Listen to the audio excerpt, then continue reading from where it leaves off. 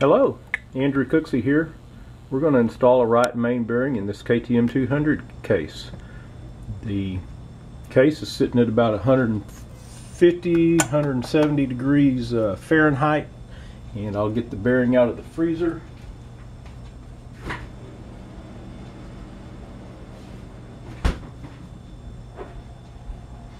The bearing will drop right in if you could keep it square enough.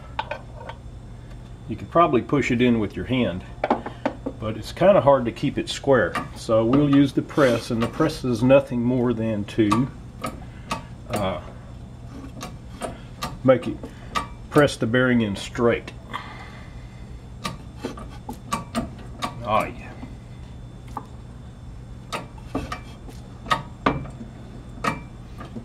Smooth as silk. No force required.